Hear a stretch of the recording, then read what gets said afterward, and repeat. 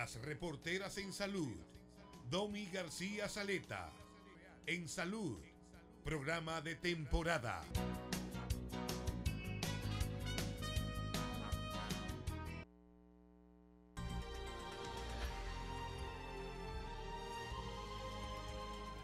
¿Qué tal amigos? Muy buenas tardes. Qué bueno que nos acompañan en esta propuesta de esta semana, recuperando un poquito de la gripe. Eh, yo pensé que íbamos a comenzar con un videito que tenemos ahí de Zoe Saldaña en un concierto de Juan Luis Guerra, porque estamos defendiendo, vamos a escuchar un poquito.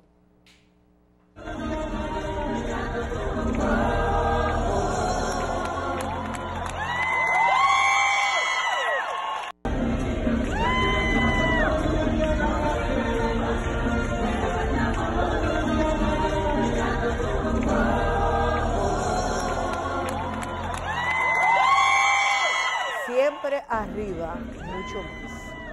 Porque en estos momentos, con el asunto este, lo que está pasando con el escudo, eh, exhibir nuestra bandera y, y respetarla eh, es muy importante. Así que yo me siento muy contenta cuando la vi a ella con mi bandera, que tan orgullosos nos sentimos de nuestra bandera, de nuestro escudo, de nuestros signos, y hay que defenderlos. Ustedes saben que sí. Pero el escudo vamos a hablar un poquito más adelante. Vamos a actualizarnos un poquito en Sí, materia porque de. vimos también un, un video que usted me envió en, ahí en la Winston Churchill con 27 de febrero, donde está eh, Plaza Central, que pusieron una bandera y en lugar del escudo un corazón y no la Fue esencia, retirada. La, ese- o sea, la Fue esencia del escudo se perdió. Sí. Un video que hizo, un- la verdad es que yo le voy a decir algo. Lo- eh, ¿Sabe desde cuándo comenzó el respeto a los símbolos patrios? Y me perdonan, pero desde que se hizo el cuestionamiento del busto que se le hizo a Juan Pablo Duarte, que mucha gente cree que se parece a Danilo Medina, desde ahí pues ha ido un deterioro de la imagen patria. Yo creo que esto no es una chabacarería, no es un relajo. Eh, si por ejemplo esa gente, esos historiadores se equivocaron en ese dibujo, fue un error, no es para que la gente tomara los símbolos patrios como un relajo. Esperamos que eso no siga. Ahora, Domi, eh, quería comenzar el programa con una denuncia. Fíjense, donde yo resido en los restauradores, precisamente en la calle Olegario Tenares, hay una ola de robo. Y yo quiero llamar la atención al Ministerio de Defensa y ustedes dirán, ¿y por qué no a la policía que corresponde? No, porque ya creo que la policía se le fue de las manos.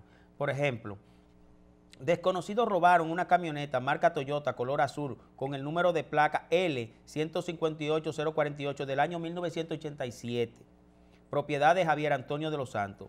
El vehículo fue sustraído de la marquesina de, de la residencia del Señor de los Santos, ubicada en la Olegario Tenares frente a la calle Tercera, en la casa número 18 del sector Los Restauradores.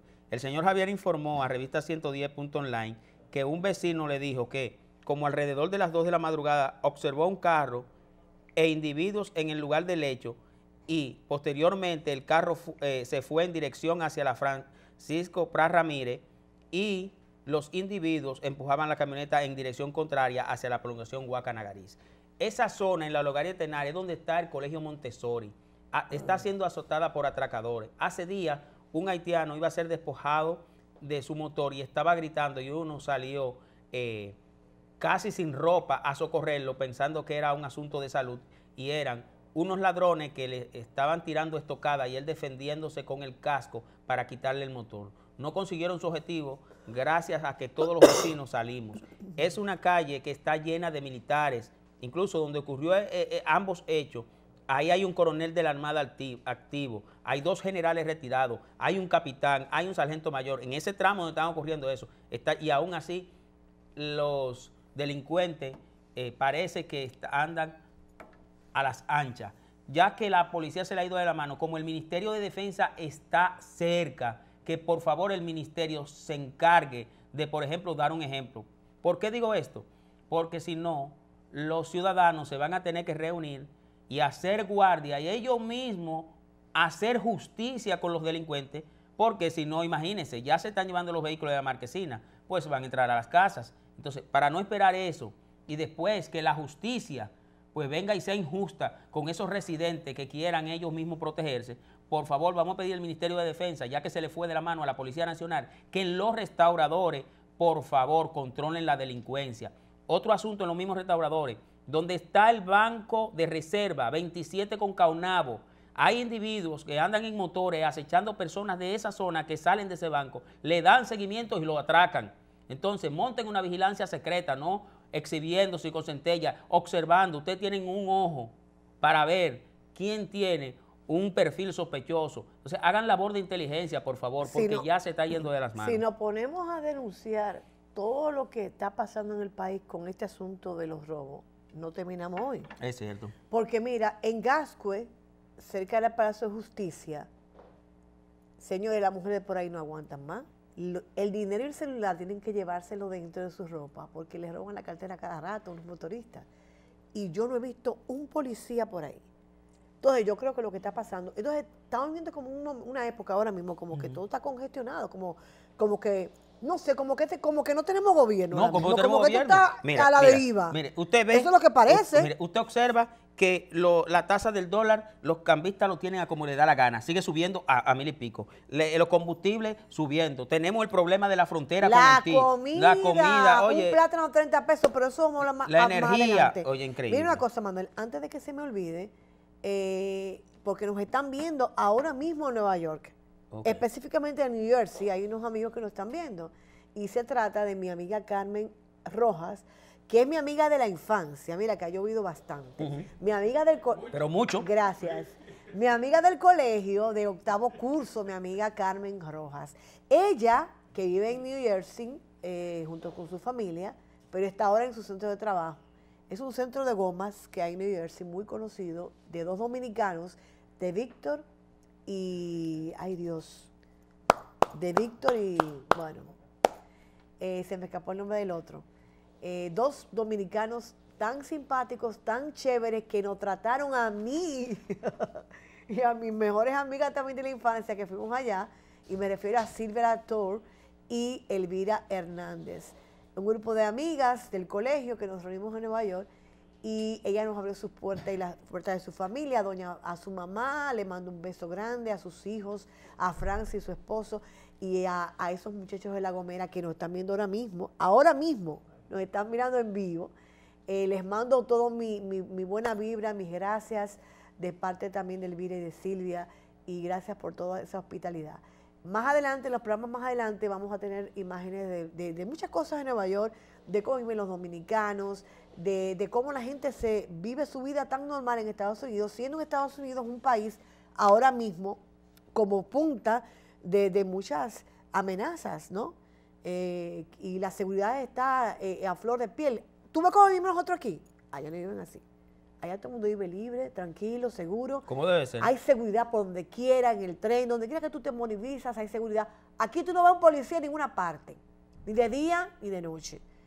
Y aquí viven robando, o sea, aquí no estamos eh, con una advertencia de ningún tipo de terrorismo, pero tenemos un, terrorismo peor, que es el terrorismo del, del raterismo. Eso es peor, porque tú no puedes movilizarte por ningún sitio ni de día ni de noche. Tú temes que por un celular te, te den una puñalada, te den un tiro. Entonces es lo que estamos viviendo peor. Entonces en Estados Unidos eh, hay mucha seguridad, la gente se, desenvuelve y vive su vida normal sin ningún temor.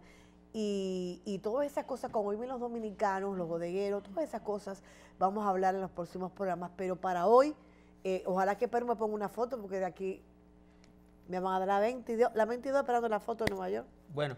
¡Pedro! Pero, pero en Vamos a hablar. Vamos a hablar de otra cosa. Entonces, ahorita vamos, ponemos con lo de Carmencita y, y, Silvia y Elvira para que llamen la foto. porque tú supiste, lo que, ¿verdad? Lo que usted estaba diciendo sobre la delincuencia en nuestro país, la seguridad, mire, eso se reflejó también en los pasados comicios de primaria. Pues eh, Participación Ciudadana comprobó que hubo un 30% de compra de votos y acaba de hacer un trabajo de Transparencia Internacional donde dice que en República Dominicana el 48% vende el voto. Eso es grave. Eso en cuanto a eso. Ahora, la noticia del momento es la locución que hizo el presidente Leonel Fernández en la noche de ayer, precisamente a las 9 de la noche, eh, pues dio un discurso donde comenzó muy bien haciendo énfasis en la historia de su trayectoria en la política, de sus 46 años en la política, de sus inicios, en el PRD con vos, cuando pasa se funda el PRD, sus 46 años. Ahí tenemos al presidente Fernández cuando se está refiriendo. Mire, el presidente en esa locución dijo, dijo estas expresiones, Domi, para que la analicemos. Él anunció su renuncia de manera irrevocable al PLD y entra un nuevo proyecto que se llama La Fuerza del Pueblo, que es eh, el partido, El el, pa- el PTD. antiguo PTD. Exactamente. Aseguró que el PLD que fundó Juan Bosch y el cual formó parte por 46 años ya no existe.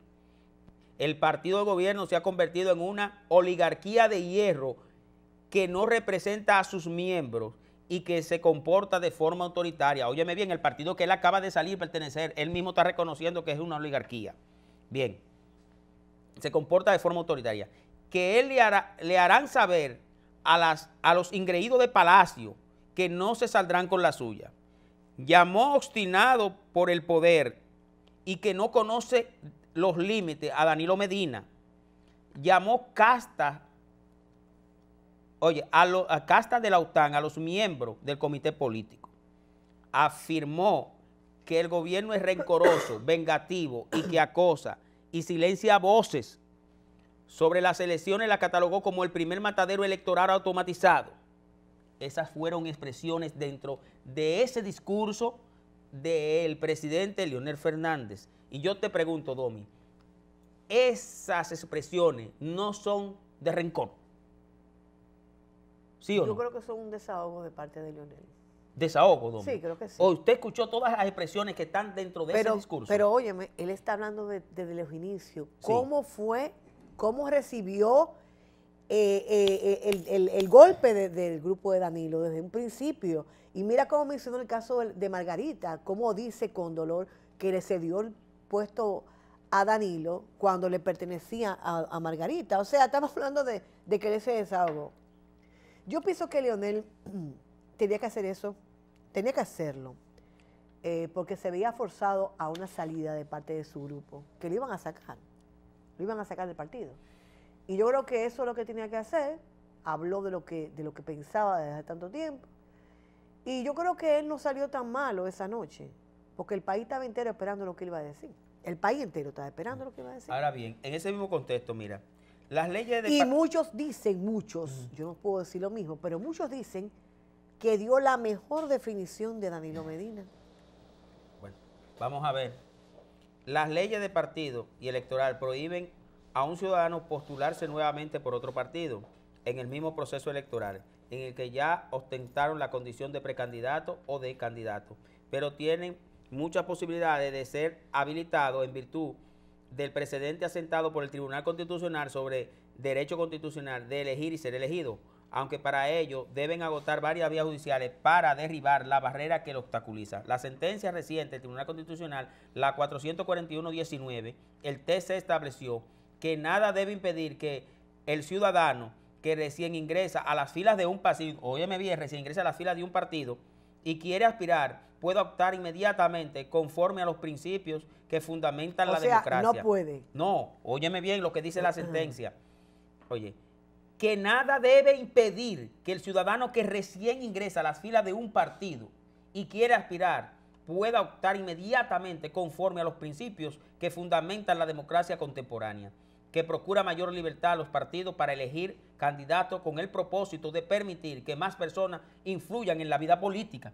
Eh, Eso quiere decir... Pero quiere que te una Sí. cosa, esto que está pasando con, con, con Leonel y con el partido y ahora con el PTD que se ha metido Sí. ahora a, a- a- a la candela, eh, no tiene su final ahora, este es el comienzo. Porque el presidente fundador de ese partido, González eh, Espinosa. González Espinosa, que parece que está retirado porque parece que no estaba en la asamblea. Sí. Porque dijo anoche, inmediatamente Ajá. alguien buscó la reacción, creo que fue el incendiario, y él dijo, le entregaron ese partido a Leonel. Sí, eso O sea que parece que él no estaba en la Él no- convención. no, no. Y habrá que ver también cómo, cómo, cómo será el asunto de este partido con un nuevo nombre. Eh, cómo, cómo se cambia el nombre, Sí. cómo la Junta Central va a manejar ese cambio de nombre. Sí, eso eso hay que saberlo. Pero inmediatamente, como PTD, se pueden hacer acciones. Vamos a ver. no, pero es que ya no es PTD. Sí, sí, pero escúchame, dántelo la Junta es PTD. El cambio no se puede hacer porque ya es un proceso. Pero es lo que yo estoy diciendo. Espérate, hay, que man- hay que ver cómo el- la Junta Electoral Sí, podría manejar pero ese, eso ese es, tema. Eso, eso es menos prioritario, porque lo importante es que se pueda sentar como, como partido PTD, se puede sentar inmediatamente. El cambio se puede hacer en el proceso. Lo importante es, que se, es ver si es verdad como la, la- no, la- la espérate. sentencia. Lo que hay que saber es si esa asamblea fue regular. Bueno, exacto. Hay que ver todo eso. Hay que ver Hay que ver eso. todo eso. Ahora, lo hay que ver. Porque lo- si el presidente dice hay que, que no, ver, hay que ver. que se que se que, que, que no se no se hizo Le no, quiero no se hizo recordar. el procedimiento adecuado. Le quiero recordar. Está hablando de que le quiero fue recordar regular. aquí que el Tribunal Superior que tenemos el Tribunal Constitucional y con esa sentencia hay que tener cuidado porque es el organismo mayor. ¿Y quién fue que nombró a ese Bien. tribunal? A mis el Tribunal amigos, Constitucional A mis no amigos. importa, ese tribunal se ha comportado independiente. Ah, eso sí, Ah, le voy a decir algo y también Eso sí. el PLD quizá trate la salida de Lionel ahora, pero Reinaldo asume la dirección del partido. Óyeme bien, ¿quién Pero eso, pero perdóname. Y eso no se sabía. Sí, pero está bien. Pero por favor. Ahora, hay otro asunto. También Ellos, existe, van, existe ellos la se van a posibilidad. reunir en las próximas Sí, horas. en las próximas horas.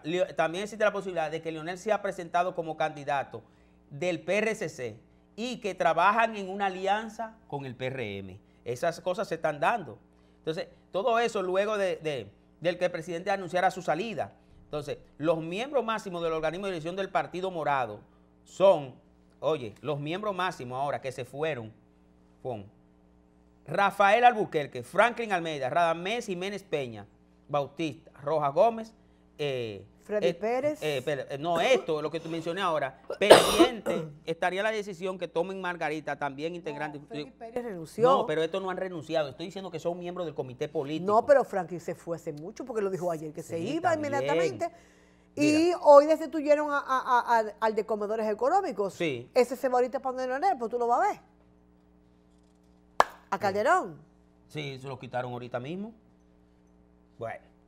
La Eso pique se extiende, como dicen por ahí. Bueno. Mira, antes de que vayamos a la segunda pausa, a la primera pausa, eh, me gustaría que habláramos un poquito de lo que está pasando con el asunto de- del, del escudo de la bandera dominicana, porque eh, así como que no quiere las cosas, eh, se ha destapado en redes sociales muchas banderas que están en los ministerios, que ondean en diferentes oficinas públicas, y esa bandera no se ve el escudo.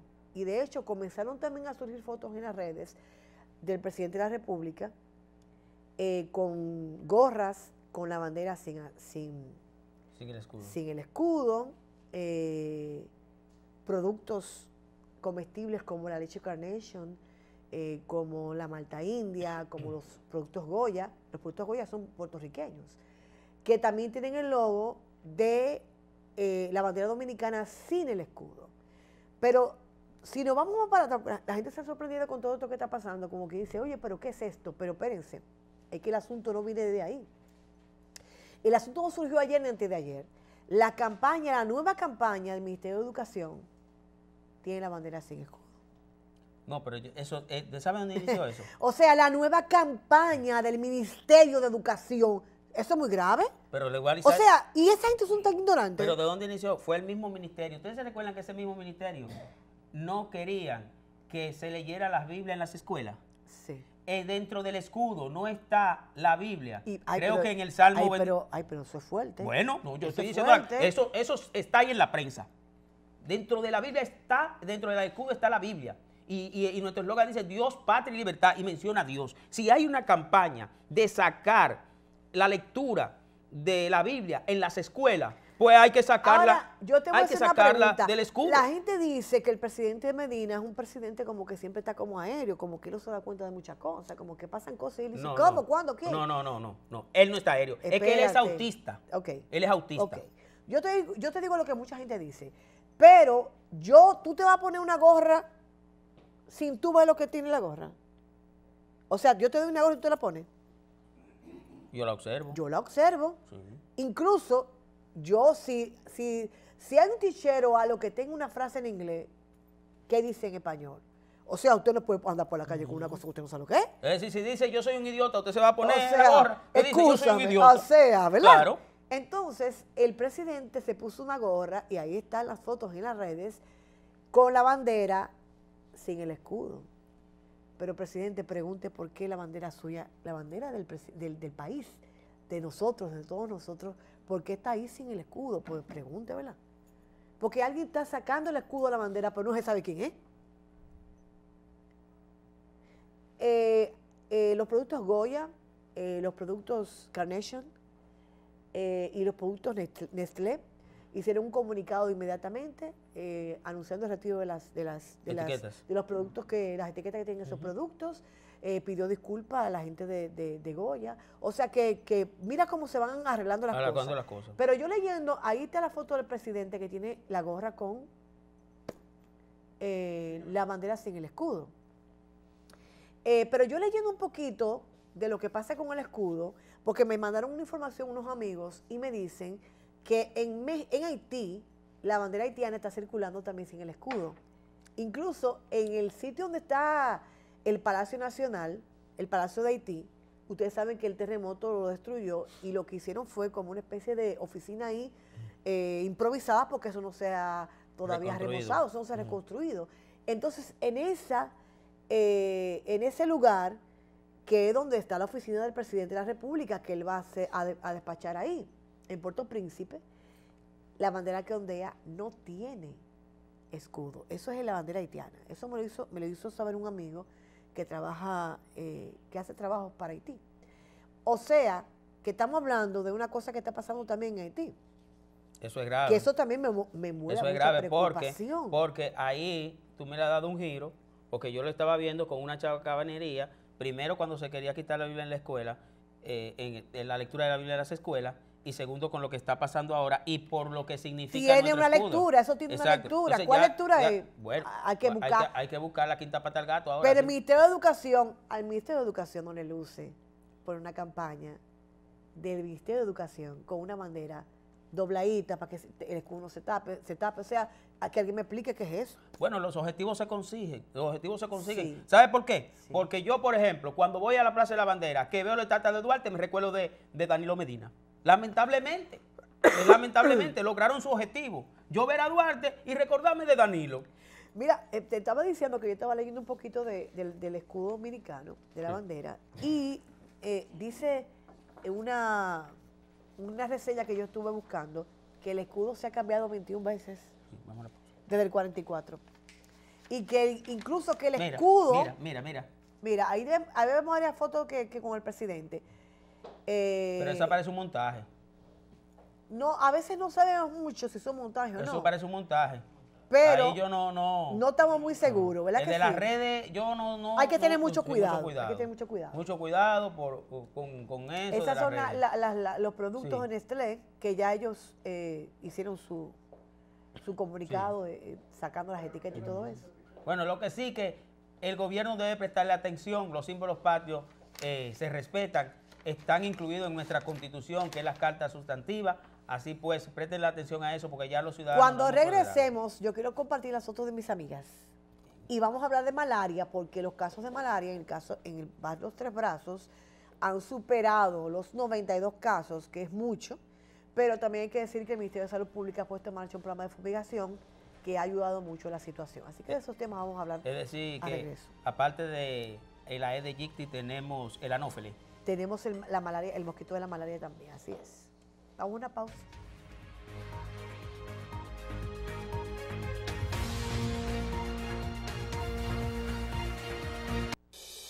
Las reporteras en salud. Regresa en breve. Salud. Domi García Saleta. En salud. Programa de temporada.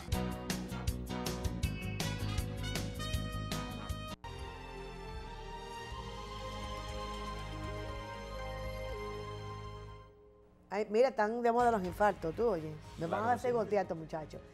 Eh, miren, qué bueno, amigos cinco nosotros estamos en vivo desde los estudios de Carivisión, eh, gozándolo en los comerciales. Miren, ahora sí me voy a poner las fotos de mis amigas, porque mi amiga eh, Carmen Rojas y sus amigos están chequeando. ahí está Karina Rivera, que es la productora y que me hizo varios trabajos que ustedes van a comenzar a ver a partir de la semana que viene pero ahí está Elvira, Silvia y una servidora.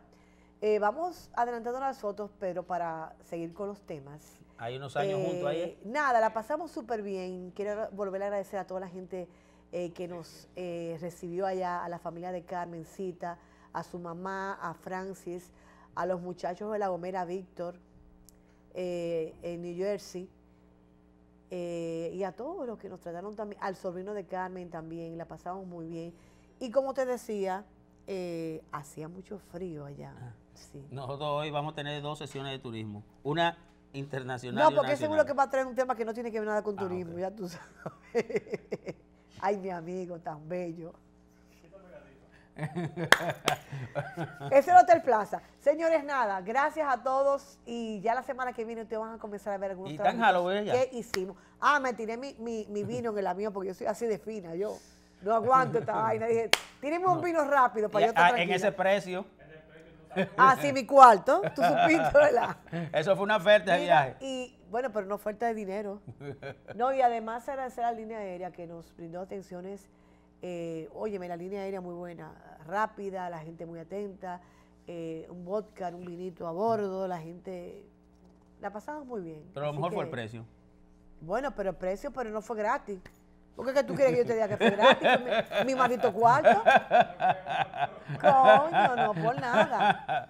Vamos, eh, bueno, miren señores, yo quiero hablar un poco. Un beso a mis amigas de la infancia. Señores, conservar la amistad para mí muy valioso. Yo tengo muchos amigos de, de cuando yo era muy joven, de cuando estaba en octavo curso y primero.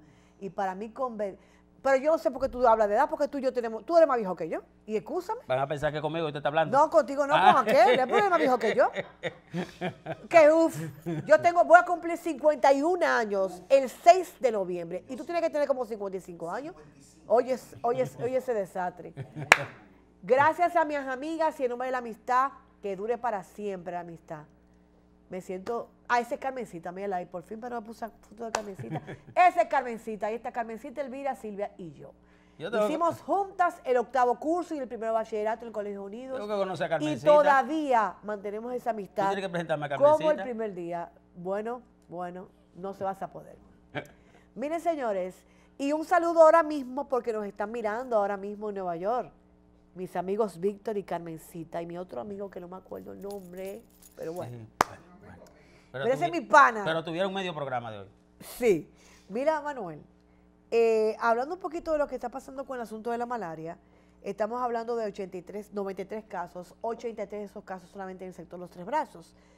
Eh, la basura y, el cúmulo de agua tiene mucho que ver en este asunto de la malaria y la salud pública de inmediato puso en marcha una, jornada de, fumigación.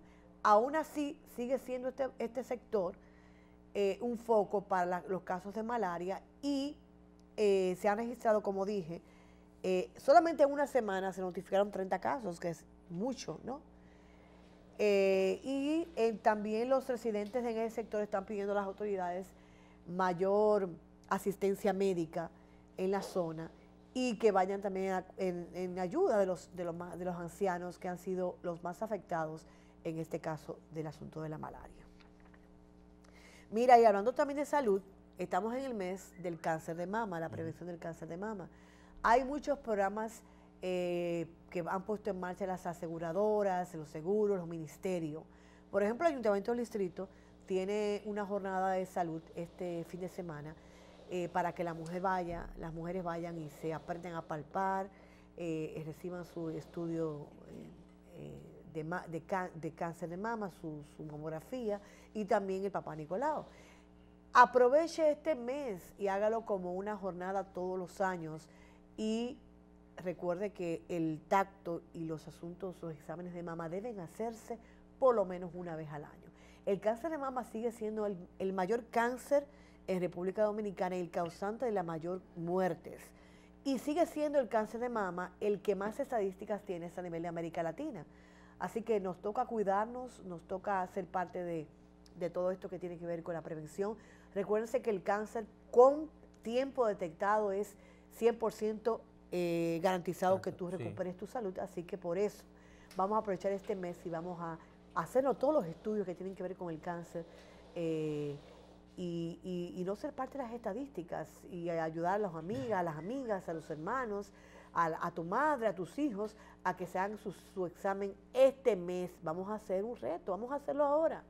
Yo ya salí de eso y me hice todo mi Y que la- recordarle a las mujeres que a través de las redes sociales de YouTube pueden conseguir la forma de ellas mismas monitorearse, de ellas mismas, irse tratando y darse cuenta si algo anda irregular. Ahora mismo hay mucha asistencia, lo pueden buscar por las redes. Y cuando tú te estás en el baño, tú levantas tu mano derecha y con la mano izquierda tú te puedes palpar y tú vas ahí eh, determinando cualquier cosa que tú sientas raro. eh, no solamente tumoración, ¿no? Los colores de, de, de tu, de tu seno, si tiene alguna secreción, algún líquido, todas esas cosas hay que saberlas porque acuérdense que es el cuerpo de cada uno de nosotros, debemos de cuidarlo. Y el cáncer sigue siendo, eh, hablando de estadísticas, sigue siendo muy alto en el país. El segundo cáncer, según las estadísticas en el país, es el cáncer de colon y le sigue El cáncer de cuello uterino, que aunque eh, la prevención con el asunto de la, de la histerectomía, de cuando te Sí. detecta cualquier cosa, a la mujer le hacen una histerectomía, aún siendo así, tan prevenible el cáncer de cuello uterino, sigue ocupando el tercer lugar en República Dominicana. Bueno, Eh, ¿Qué nos queda suelto, Manuel? no, no, no, no quedan. Ay, Manuel, pero espérate, porque el alcalde del distrito confirmó ayer domingo que efectivamente había recibido algunas ofertas eh, para candidaturas a la, Él dijo vice- que y a anali- la presidencia, aunque no dijo de qué partido. Sí, él dijo que analizaba propuestas de partido para que sea candidato a la presidencia en el 2020. Yo lo único que sé es que las inscripciones de los candidatos hay fecha límite para todos los partidos, lo de primaria y por lo que están haciendo cualquier tipo de convención, es el domingo 27. Este señor se está durmiendo en definirse si es a la alcaldía, si es a la presidencia por algún partido político y el tiempo va transcurriendo. Yo creo que él, ¿Estamos hablando de qué fecha? eh, estamos hablando del domingo, el 27 de octubre, es el listado para, el, el última fecha para recibir el listado de la Junta Central Electoral. Ahora bien, yo creo que esa persona debe definir su carrera política. Yo quiero recordarle a los amigos televidentes que esa persona que puede ser candidato presidencial por una organización política o puede volver a repetir eh, como candidato a la alcaldía del Distrito Nacional, es una persona que representa intereses económicos fuertes en República Dominicana, sectores que están detrás de nuestro sistema energético y que esa persona representa esos intereses. Está en la balanza de ustedes en saber si los representa también a ustedes. Es decir, que esta persona debe definir dónde van sus aspiraciones, pero hay un sector económico que quiere que tarde o temprano él sea presidente, sea ahora o en, en el 2024. Bueno, eh, eso va a quedar en, en- en espera, aunque yo pienso que la gestión que ha hecho Collado frente al Cabildo ha sido muy buena. y Sí, que él, ha trabajado, yo, lo veo a ha hecho una gestión con repitiendo mucho trabajo. de nuevo. eh, eh, ha sido austero en el gasto, ha renegociado deuda, eh, es decir, ha hecho unos amarres muy buenos para beneficio de todos los residentes del Distrito Nacional. Ha trabajado en el drenaje, que yo siempre recargaba que los cabildos no trabajan No, en el de drenaje. hecho, el drenaje pluvial de la puya de Arroyo Hondo fue inaugurada ayer. Y es una obra pedida por el sector desde hace más de 20 años. Y de hecho, déjame decirte que la gente que estuvo ahí eh, habló de cómo eh, los carros se llegaban a devaluar porque cuando llovía el agua se metía hasta arriba. Y ahí estuvieron agradeciendo al alcalde. Además se remozó el parque de la zona, las aceras y los contenes. O sea que el trabajo se ha hecho. No, ha hecho un gran trabajo. Ahora, hay que de- decir que el Partido de la Liberación Dominicana cuenta con un- una buena carta para la candidatura del Cabildo, que independientemente de la buena gestión, eh, si él repite ahí va a tener un buen Mira, adversario. Domingo es mi amigo, pero Domingo tiene que decirme a mí lo que él hizo en los 18 años que tuvo en el ayuntamiento. bueno, pero él, él- él- él estaba en una posición... No, pero está bien, en no una importa, posición pero yo que te no- pregunto que me Ah, diga No, no, sí, que me sería bueno. qué aportó. Sería bueno Claro, saber qué, qué claro, aporte hay, claro. porque, a ver, sí, es verdad. Eh, Sería bueno cuestionarlo al respecto. Vamos a entrevistarlo a ver, que, a ver que el planteamiento que nos haga, que en todo ese tiempo que él duró en el cabildo, toda esa experiencia que adquirió. qué era lo que él sentado era lo- ahí? ¿Qué realizó? ¿Qué hizo en beneficio Algo del Distrito Nacional y que lo, pues, lo saque a relucir? Mira, eh, antes de que pasemos a la segunda pausa, porque vamos a, dejar a, Emilio que traiga tu material esta semana.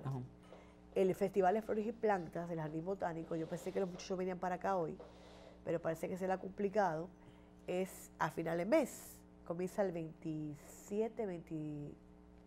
A ver si Pedro me ayuda con la imagen del... ¿Qué día dice ahí que? 25, 26, 27 es el Festival Nacional de Plantas y Flores.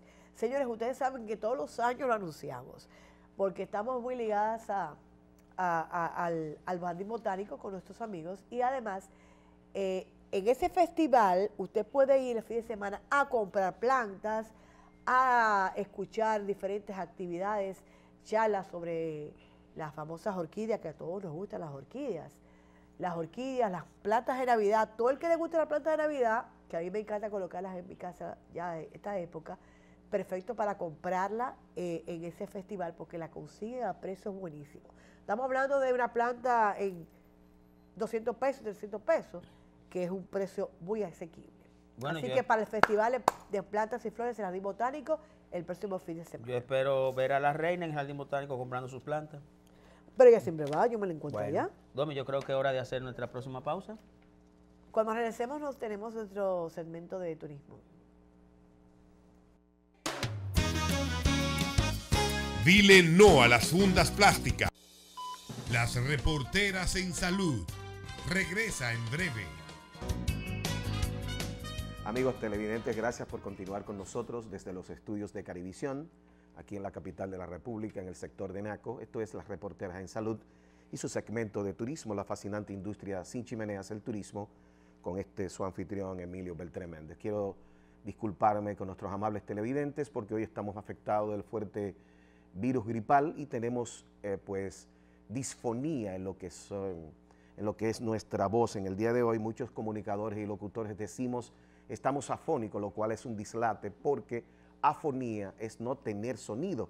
Sin embargo, disfonía es tener usted su sonido de voz distinto, su metal de voz distinto al que usted tradicionalmente tiene, producto de, como por ejemplo en el caso nuestro, de tener un virus gripal. Vámonos de inmediato con lo que es en el día de hoy, precisamente celebramos el Día del Poeta Dominicano, en honor a esa gran poetisa de la República Dominicana, Salomé Ureña de Ríquez, así que para todos los poetas de la República Dominicana en memoria, de manera especial para nuestro don poeta, nacional, don Pedro Mir, en paz descanse, hoy día del poeta dominicano.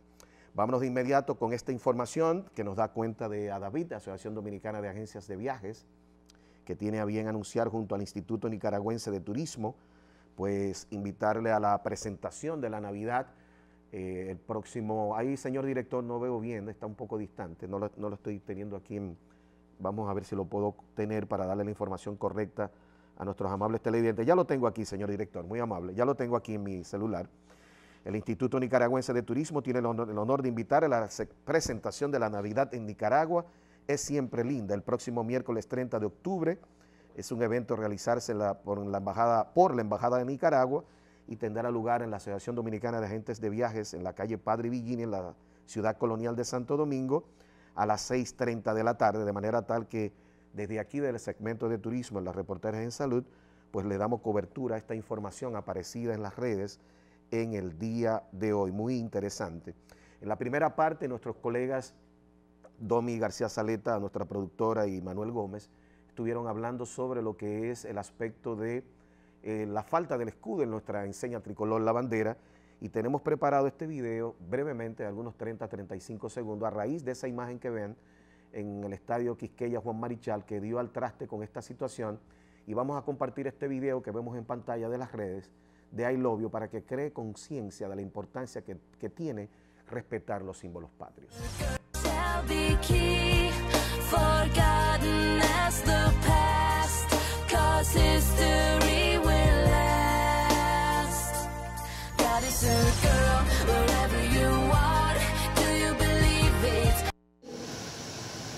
Que vemos en pantalla, señor director, téngalo en Q. Quiero también hacer el comentario de agradecer la invitación que se nos olvidó la pasada semana de Fodearte para la inauguración de la Casa del Artesano en la ciudad colonial de Santo Domingo y agradecemos esa invitación a toda su directiva para ya en los próximos meses o días pues podamos tener presencia por allí para tener un intercambio con su directiva, entendiendo que es un punto importante de apoyo al artesano en la República Dominicana y que es un importante subsegmento del turismo con relación a lo que son los gift shops, además de otros eh, complementos importantes como los guías turísticos, entre otros, para lo que es la oferta turística del producto turístico dominicano. Fodearte, ya más adelante, amigos eh, directivos, si nos están viendo en este momento, pues vamos a estar contactándole para poder hacer esa parte.